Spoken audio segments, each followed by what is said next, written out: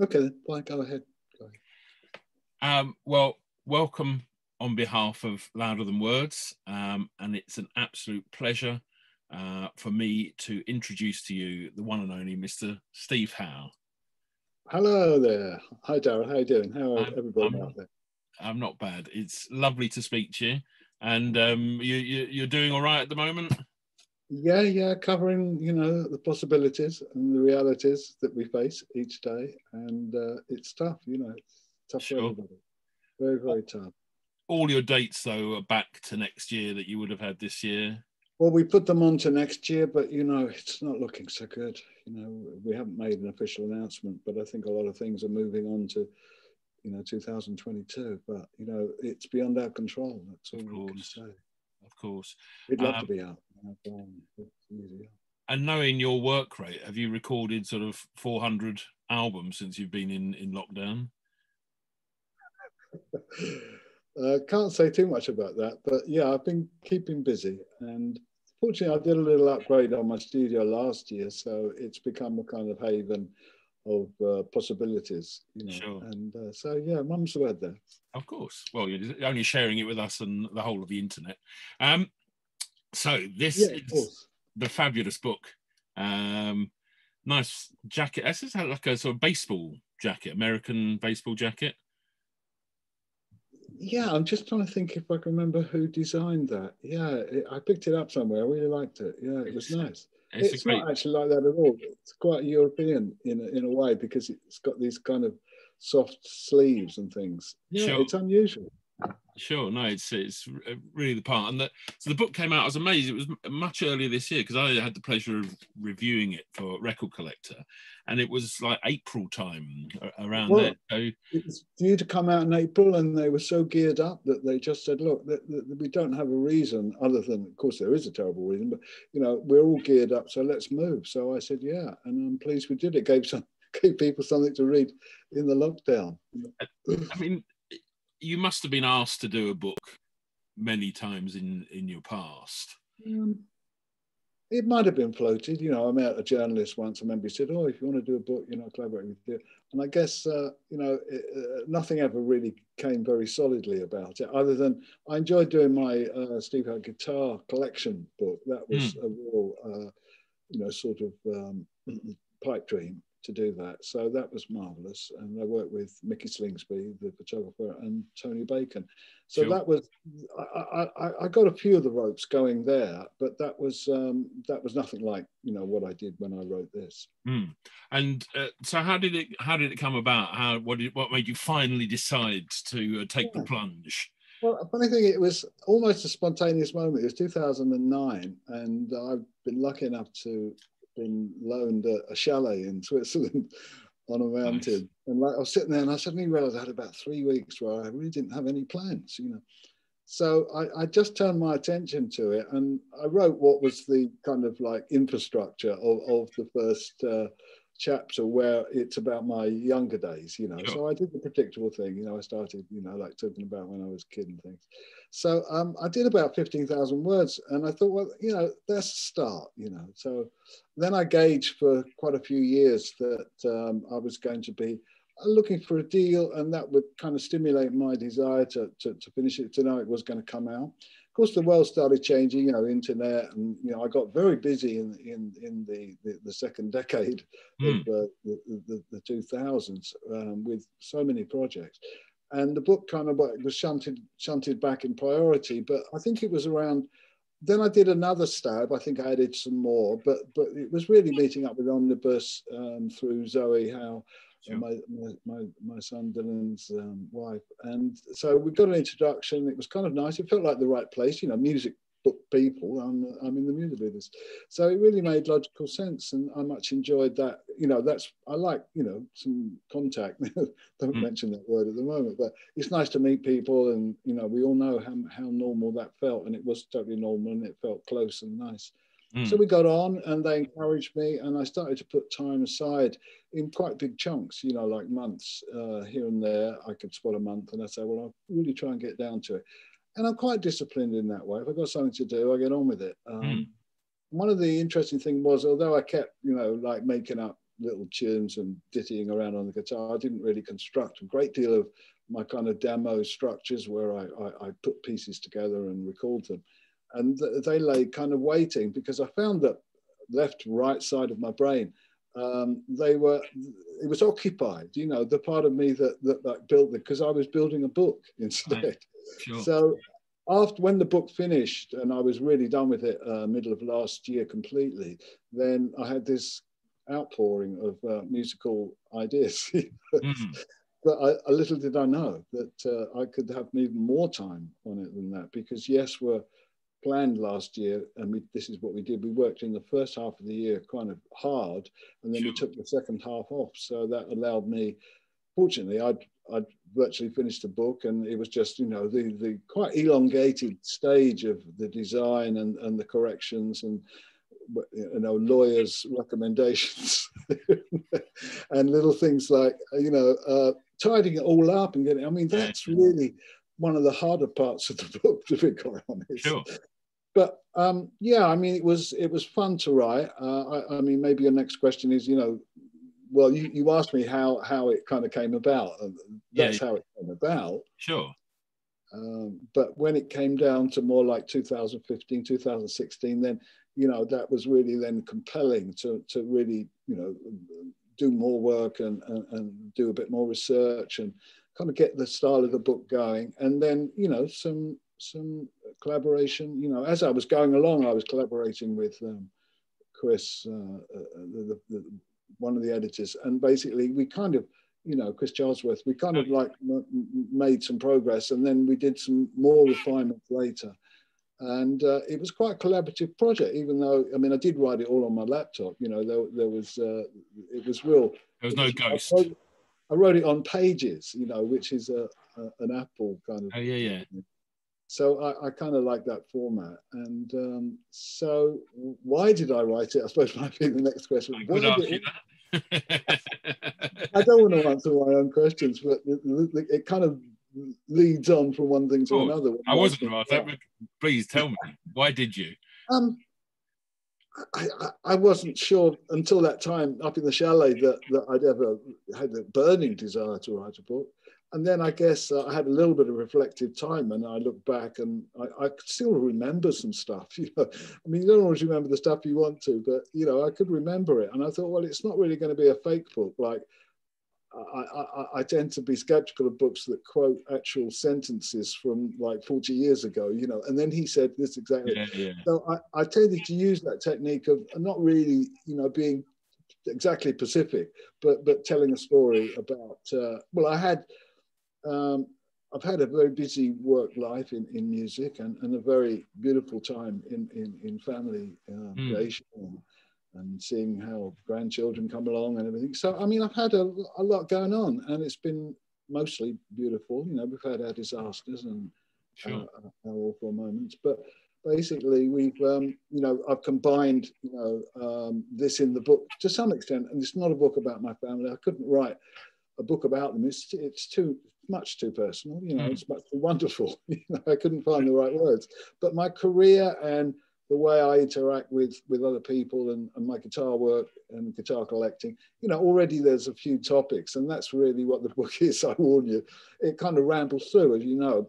It rambles through uh, different sides of my uh, interest in music, and I'm still amazed at you know 70 well i'm almost going to say 74 because it's only four three three or four months away and um 74 but um, my I still love the sound of the guitar. mm. And if that wasn't true, then my career would have been very different. Say, you know, ten or twenty years ago, it most probably would have gone. But I think a career is also something that broadens anyway, or if you let it, or you allow it, or you encourage it, you know. And uh, you know, I'm much more interested in production than I used to be. I'm much more flexible as a writer and even as a singer, you know. So basically, um, you know, I, I feel in, in good in good shape to, to carry on, you know, being a musician. So the book really is is packed full of crazy, crazy moments where, you know, my life was rushing by at an astounding place. And then I even took on more, you know, and I did solo stuff and I did the trio and, you know, I did all these other things because um, my music kind of, you know, directs me quite often. And, and being a solo guitarist at times, you know, on my own with a guitar is is most probably the high, the pinnacle for me in, in my musicality. Mm. Even though, because a lot of that writing that I play, my own compositions, actually are really long-term projects to write in themselves. You know, things sketched in the sun or you know, Ram or Clap, Mood for Day, all these things. They're all very um, me. And fortunately, when I, by the time I can record them, I know them so well. Um, so that's in the book as well. It's about indicating that although what you see is what you kind of get in some respects, also, uh, I think for me, part of the enjoyment of being a musician is being not pinned down and not being one particular thing. You know, even I almost define being called a rock guitarist now because you know I, I, I, I like the, the, the, a broader definition, if you like, sure. of the kind of things I do. Um, sure.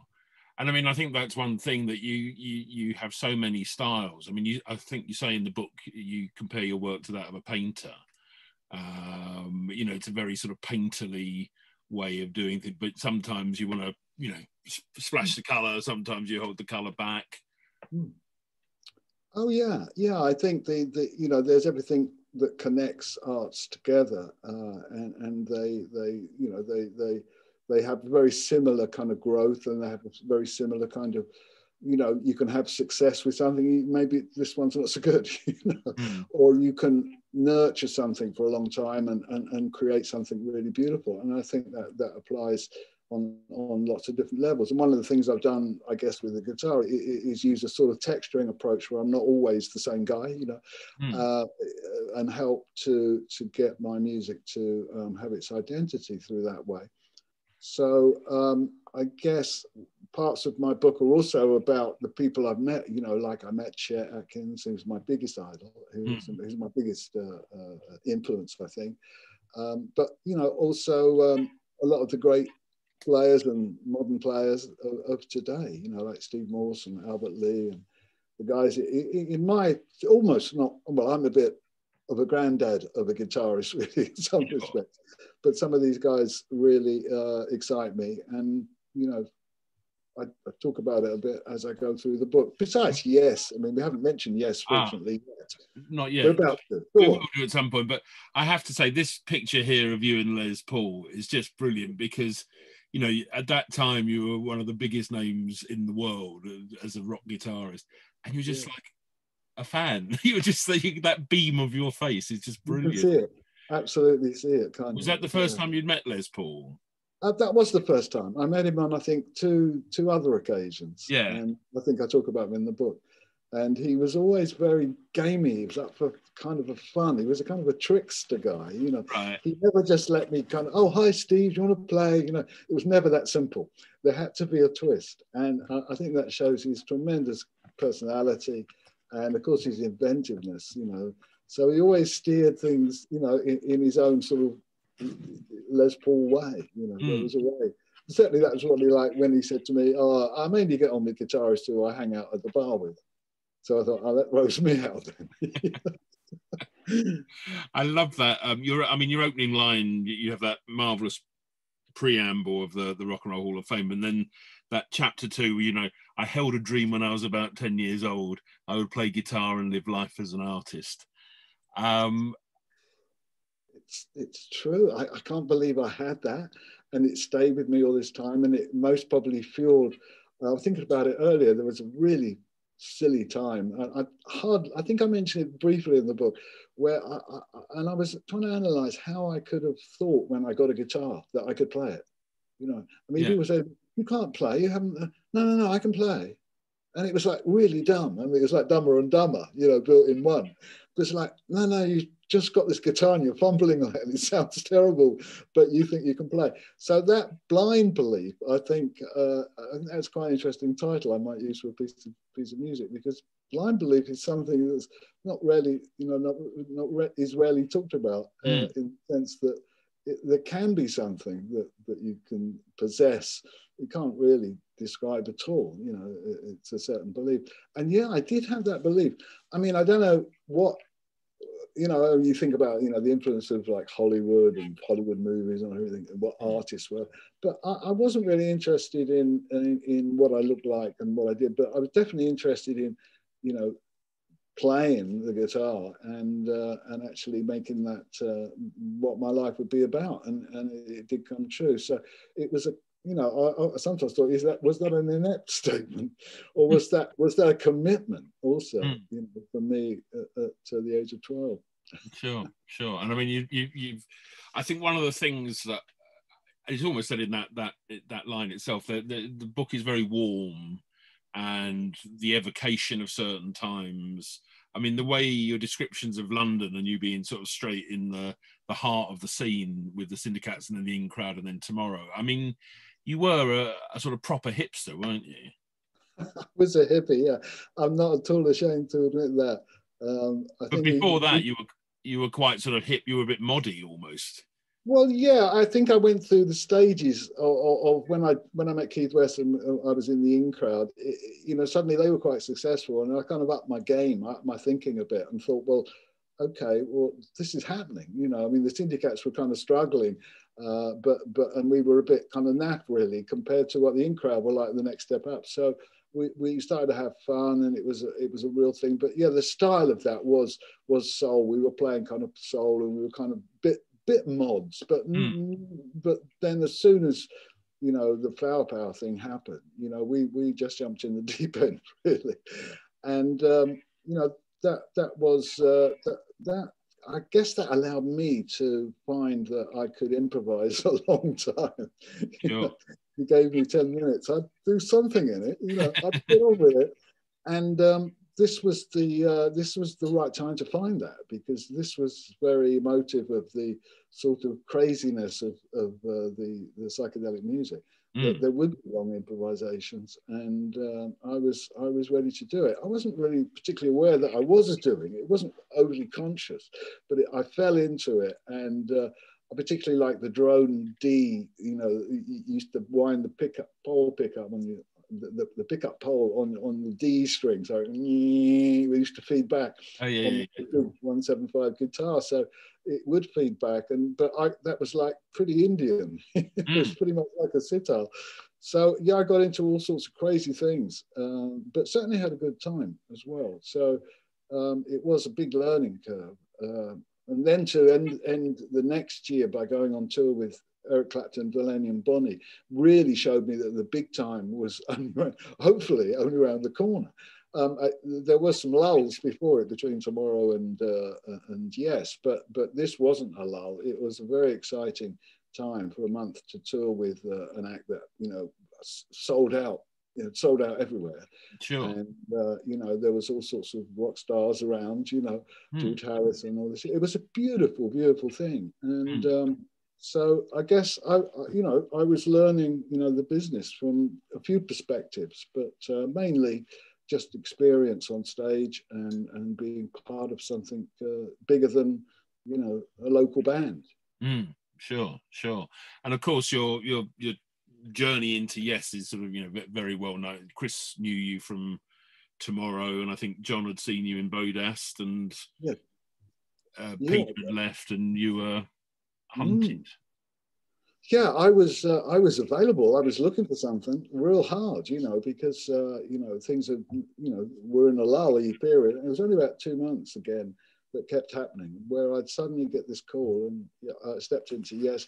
But when I got there and played with these guys, I mean, I was well impressed, you know, and uh, you know got the gig and, and then felt that well I'll put everything I got into this. This is a good shot, you know. And uh, everybody had so much, you know, personality and and workmanlike. I mean, one thing, yes, it still is. It, it, it, it um, encourages hard work. It, isn't a bad to be in if you're lazy, because sure. we don't, we can't do that. You, you, you won't have the energy. So there's, there's, you know, there's, it's a tough requirement, and certainly in the 70s we we blazed through it like. Uh, you know, I was going to say like cavaliers or something. You know, we were kind of like taking it on board, but also building it and, and uh, meeting all the challenges and, you know, the ups and downs that did happen. But mainly the great albums that, you know, are referred to and so much part of our, our live catalogue is mm. is based around records like Relayer and Fragile and you know Close to the Edge, only to name three. So we had a lot of very strong ideas, and Bill Bruford was part of that, and uh, of course uh, Peter Banks started out. Mm. Tony Kaye was in the original thing that I joined back in 1970. And, and gradually, we just kept encouraging more more players, you know, mm. to, to come forward. And Patrick Moraz, you know, Wakeman, you know, Geoff Downes. It kind of like was a potpourri of uh, of musos. I mean, it was always struck me as amazing how you work with all these different keyboard players, all you know, all household names in in their field. So from Tony to Rick to Patrick to Rick again to then to Geoff, um, and you, it's almost like there's a telepathy. I always sort of see yes, as no one gets away with doing too much. As some, you know, everything's sort of balanced. That if the keyboards are running away, then the hmm. guitar comes in and the, and the, you know it's it's a beautiful balance i mean is that something you you you thought about in the writing and in the playing or did it evolve naturally well i, I think it you know for me was already going when i joined you know mm. because Time and a Word and yes uh, the, the first album yes w- w- had great things about them and um, basically there, there was a kind of plot yeah i think um, well, I mean, I was going to say, well, I, I, dare say we can't credit any one person with it, but I think that's not really true. I think that Chris and John, basically, when they started the band, they were the two, you know, who really kind of pushed the, the, the shape of it around. But to get Bill, you know, on drums uh, and then get Tony on keyboards. However, the assembly came together before yeah, yeah, me. I can't quite think what it is, but you know, I, I, I, you know, it was it was a really good ship to join. You know, mm. and um, it uh, it had uh, great musical potential, and I think that's that that was my my my main signal. And I think you know you, you use that phrase "cavaliers" in the '70s. I mean, in a way, in the book you almost sort of blithely mo- move through all these situations all these things that are presented in front of you. Well look i'm mm. playing with peter frampton. We used to play in the small clubs. Now we're in you know some of the biggest stadiums in america. Yeah that's all right. What's next you know? I mean do you, yeah. do you look so, back on that and think blimey how did how, you know, yeah, how did we get away with it? I mean it was like a, a never shifting you know environment around you. It, it, kept changing, even though it was called Yes. And every time I make an album, it was somehow imprint a new kind of thing about us. Certainly Topographic did that, and then even going for the one was so joyful and Swiss and all this. You know, we were all kind of on some other kind of high. To say they weren't all as high, but but basically there was this um, kind of forever.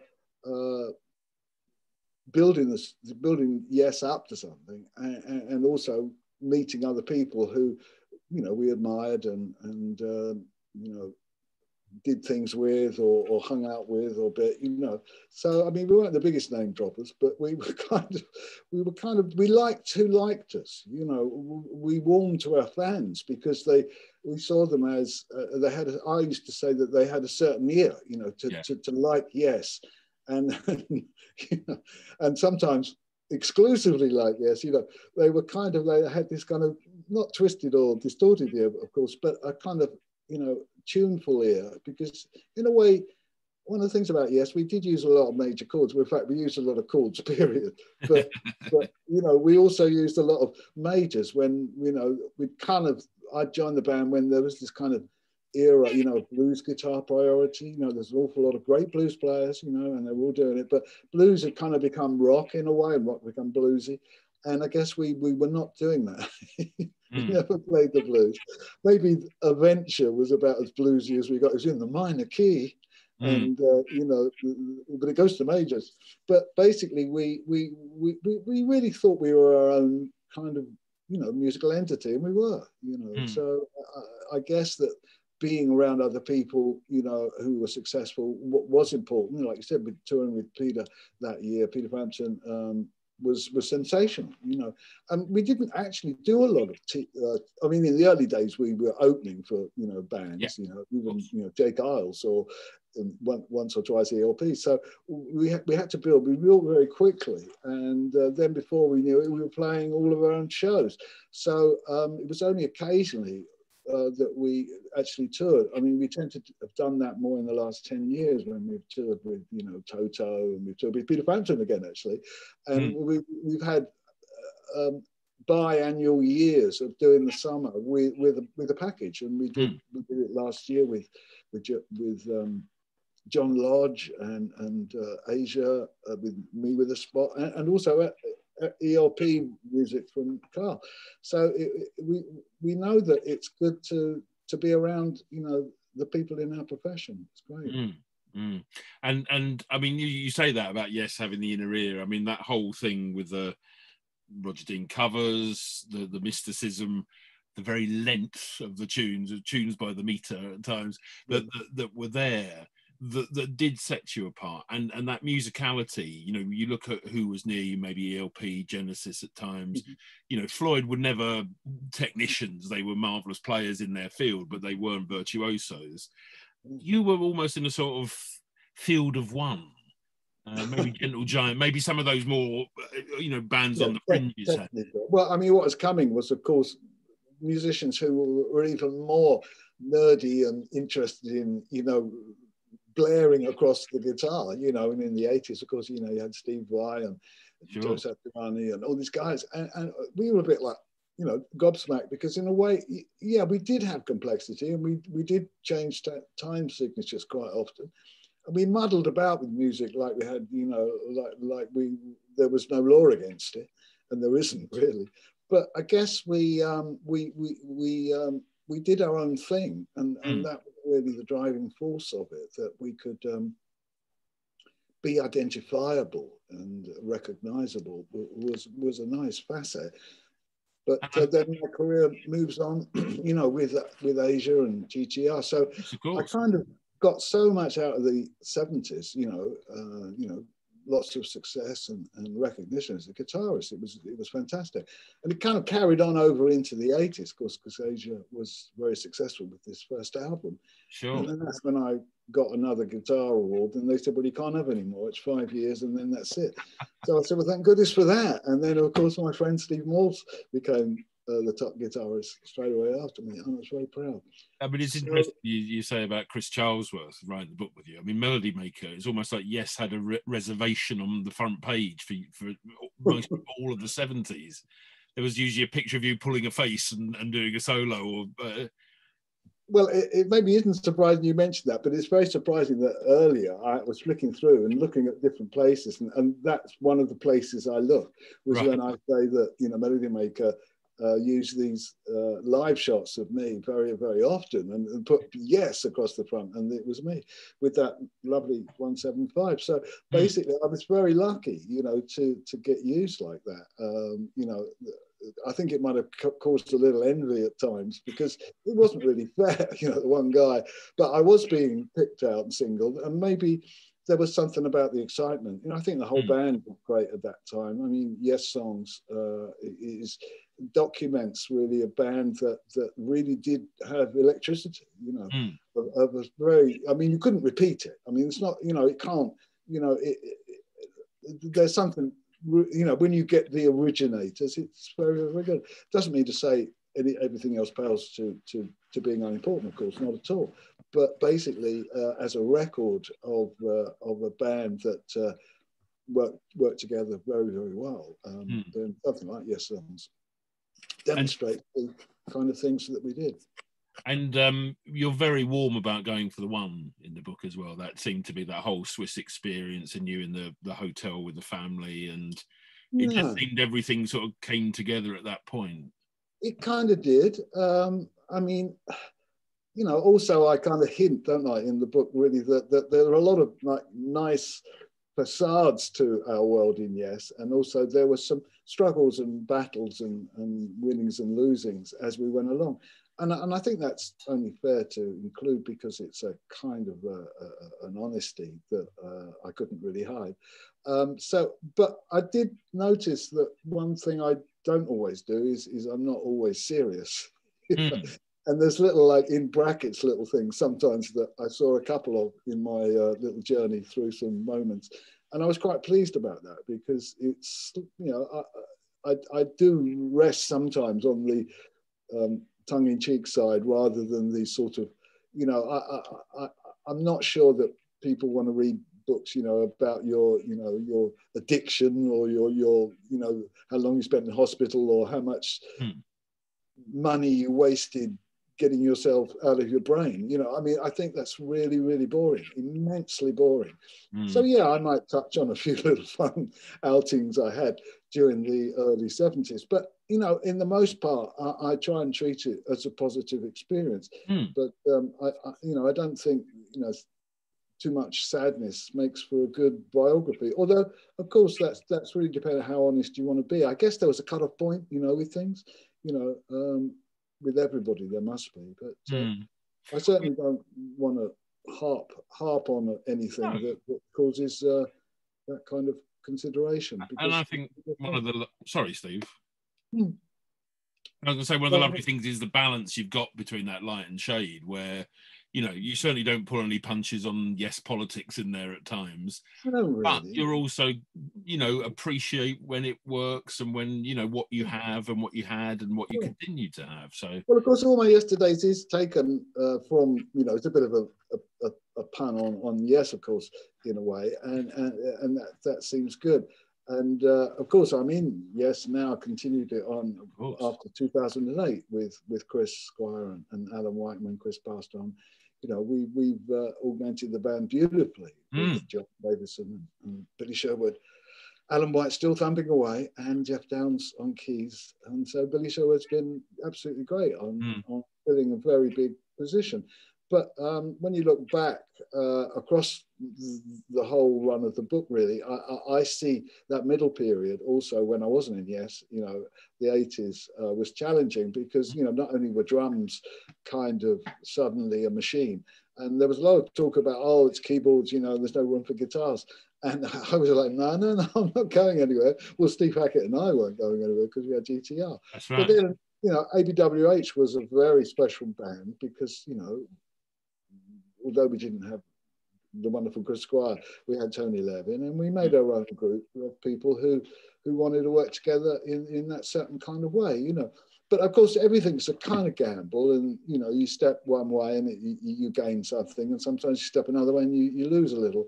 But I think then the early '90s taught me a lot about self-sufficiency and how I was really dedicated to making solo albums and doing solo tours and I did a few of those uh, across you know the, the, the, whole period. But I guess bands, you know, that's there's a thing about me and bands. You know, I've been in bands and I'm still in a band. Mm.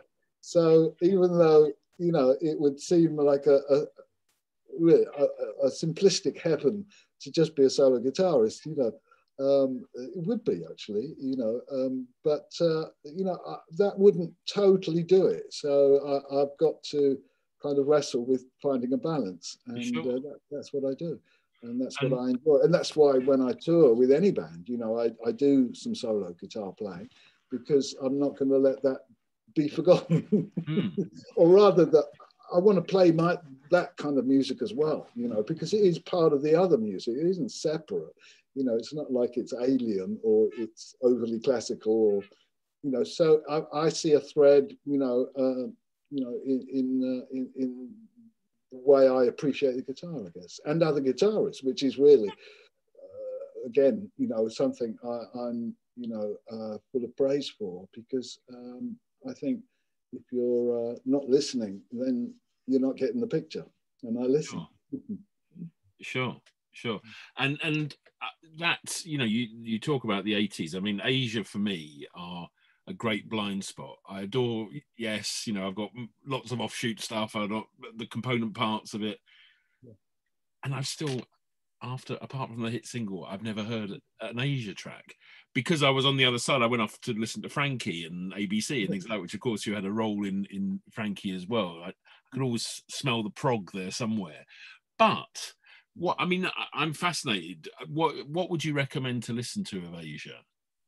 Of Asia? Yeah. Well, I mean, really, the first album is a is a chunk of work that, that encapsulates quite a lot of John Wetton's writing for some period before before that. Uh, and of course, you when at my suggestion we got Geoff Downes in, um, that they became a great team writing. So I, I, I find that whole first album very kind of um, thoughtfully structured and, and dynamic. You know, things like uh, Time Again and uh, uh, Without You, you know, shows a kind of another side of the, the, the, the arranging. Um, uh, John was always great when he played music that he didn't write as well. And he, he moves around on the bass a lot more when he's got some music of mine. And that's what happened in Here Comes That Feeling, you know, and uh, so, I mean, uh, you know, you, I don't know whether you wanted me to suggest one song. Well, no, no, no, but just the um, first album, you yeah, know, okay. is really encapsulated. I mean, if that band could have, you know, not been rushed into the next one, all these but, but, buts, yeah, yeah. you know, and actually kind of got into a nice working route of doing albums like that, it would have been marvelous.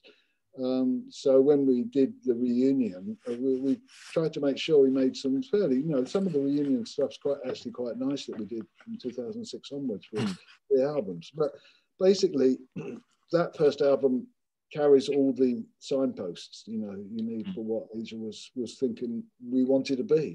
Sure. And it wasn't like yes, it wasn't like ELP. It wasn't you know it wasn't like UK or or, or Suicide King Crimson. But um, we certainly did play those bits of music on on one tour where we we did our career music, you know.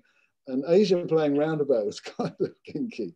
Wow. Uh, but yeah, John sung it really great. John John uh, yeah. sung it really great. But it was great fun playing fanfare and you know um, caught the Crimson King. Even you know, video killed the radio star. Sure. because that was Geoff's you know big thing. Oh, sorry. Yeah. Mm. And of course, one must always talk about Trevor Horn. Drama is a fantastic album, as is Fly from Here. Um, but I love that fact you were sort of like, you know, you played on sessions for propaganda and, and Frankie, and um, I mean that that seemed like a fun time as well, where all these things were sort of happening. Yeah, it was. I'm sure I did other sessions that I don't, I don't know ever what happened to, but they were all fun, and I guess that was, you know, as as I described in the book, you know, that was uh, something I took on board. You know, I quite liked going in cold, thinking I was just popping in to say hi, and then suddenly, oh well, look, since you're here you know, I'd hear these, since you're here, have you got a guitar? And sometimes I did in the car, you know, or he had something, you know. But um, yeah, I mean, just the, the, kind of community. There was a community when it went around that time a lot, and it was happening. I mean, I was going from sound working on something maybe slight or just hanging out, you know, with Trevor or Steve Lipson and saying hi. And then I was going to the townhouse where Geoff, you know, was producing GTR and uh, you know that already that was quite a, uh, a, quite a mixed bag. So um, the recording's flashing. Does it always flash, or does it flash when it's running out of time? Uh. I don't know. I think it flashes when it's recording. Actually, I think it flashes when it's recording. Yeah, I'm yeah. Going. Otherwise, we have not been recording. no, but I'm sure you're right. Sorry to it worry. recording here. It says it proves we're live. It's, it's like a... recording. We're live. Yes, it's definitely. if we're not, we'll have to do it again tomorrow. Um, yeah, yeah, or just have it as a lovely memory. Um, so there it is. Yeah. All my yesterdays. Um, you are now at a point. I mean, obviously, this is probably the longest you haven't been on the road mm. since 1964. Yeah.